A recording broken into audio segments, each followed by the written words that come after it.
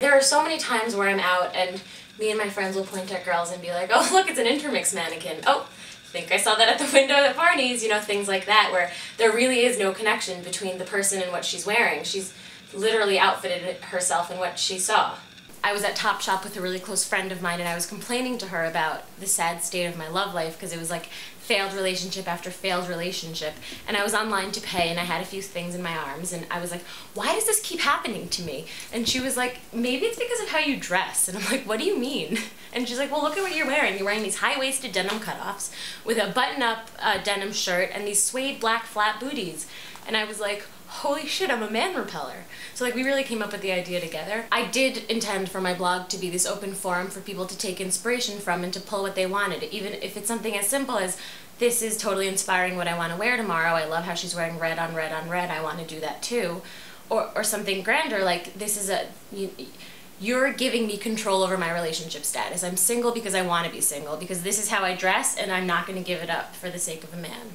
My parents are both from very old traditional worlds and they're so progressive in their raising us, which I think is great. You know, I went to a really academic yeshiva day school for, for high school, and when I told them that I wanted to apply to the new school, they were like, no, no, no, no.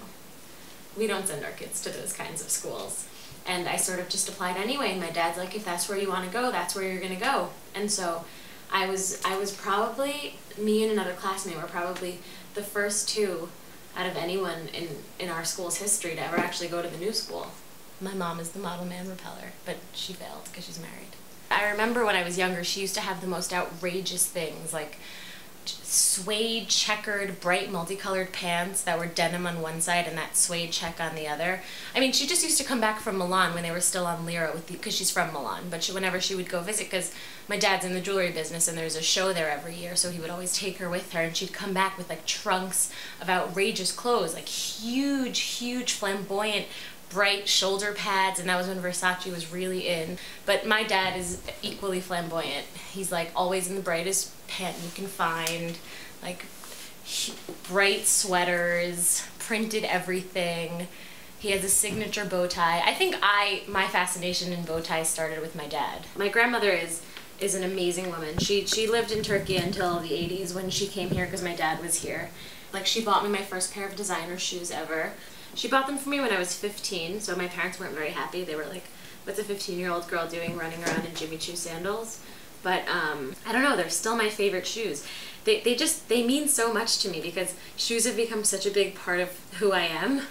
And this is kind of where it started. This is where like the whole collection started. Two of the better things I've obtained from my grandmother are, this ostrich skin Hermes clutch. Mm. Again, something very sentimental because it's one of the um, first more expensive designer pieces that my grandfather bought for my grandmother. And in a sea of three granddaughters and one daughter of her own, I'm not sure why she decided to give it to me. I guess because she knows that I'm so enthused by fashion. And this green vintage Chanel bag that I will probably wear until I die. My grandmother is, is an amazing, amazing woman.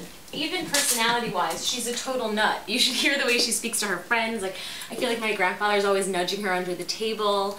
Um, she's, she's crazy and I am too. The trends that women love, men really don't understand because things are a lot more uh, sartorially articulate. You know, it's not, it's just not very comprehensible. I, I guess there definitely is like some feministic undertone and people will argue it because they say if it's feminism, you reject fashion altogether, but how can you say what is feminist and what's not? You know, as I said before, I, I really very truly just started this blog because I wanted to keep track of what was inspiring me, and I, I wanted somewhere to be able to like inject some humor in my writing because I, I couldn't really do that academically because it just didn't flow with very many of my classes and it it spiraled into something else. And that's that's part of the appeal of being a blogger. It's that you're taking fashion advice and listening to the opinion of a girl that's like you. You don't need an Anna Wintour to dictate what you're going to wear tomorrow. Because style is something that comes from so far within. It has doesn't I don't know, what you wear is a reflection of it, but it's not everything by any means.